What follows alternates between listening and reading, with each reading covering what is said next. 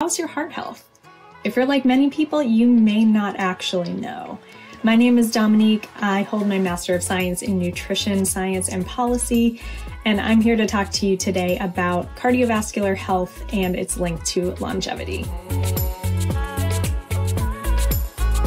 There are some pretty serious um, potential risks when we have poor heart health. That means increased inflammation and increased cardiovascular events like stroke or heart attack. Now, according to the CDC, about 80% of cardiovascular disease is actually preventable.